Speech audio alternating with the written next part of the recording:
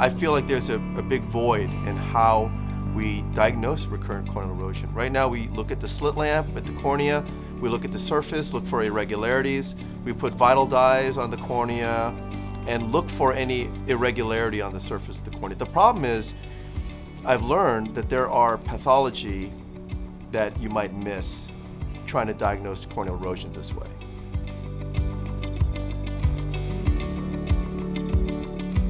When I was in surgery, I noticed some patients would have either irregular epithelium or an abrasion just by simply draping their eyes.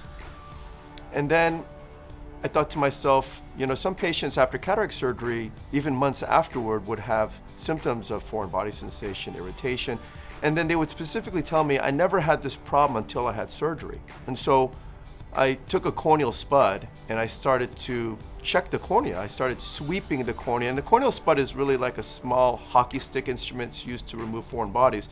But I took the back end of it. I kept sweeping the cornea with it. I was finding these focal areas of loose epithelium using that instrument. And then lo and behold, those patients were getting relief from their symptoms. So I put two and two together and I felt like, okay, these symptoms are related to these areas of erosion. But interestingly enough, on those particular patients, those erosions were right over their corneal cataract incisions. So it told me that there was clearly some association between the surgery itself and their symptoms.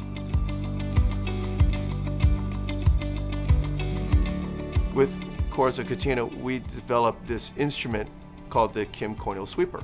And it's essentially, looks like kind of like a UFO or an M&M candy shaped disc instrument. it has a straight handle and it has the smooth contour that you would need so that it doesn't seem scary to use it.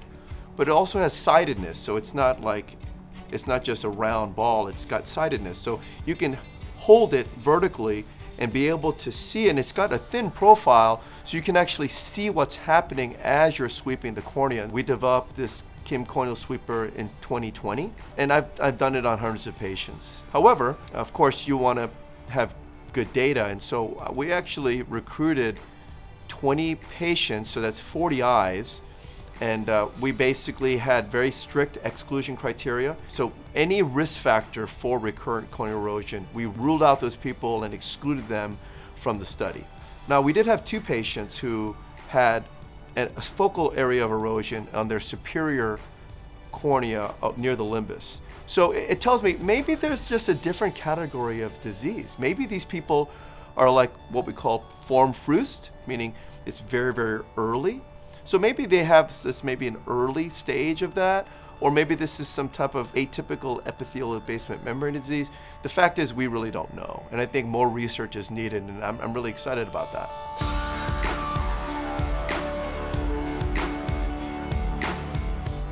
So the beauty of this technique is, as I've said, it's non-invasive, it's very safe, it's very easy to do. And this is not just limited to ophthalmologists. I mean, I think optometrists should be able to do the procedure as well.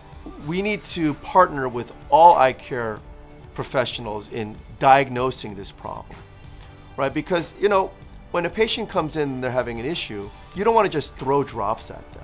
An optometrist can do gonioscopy. They can also do this procedure as well.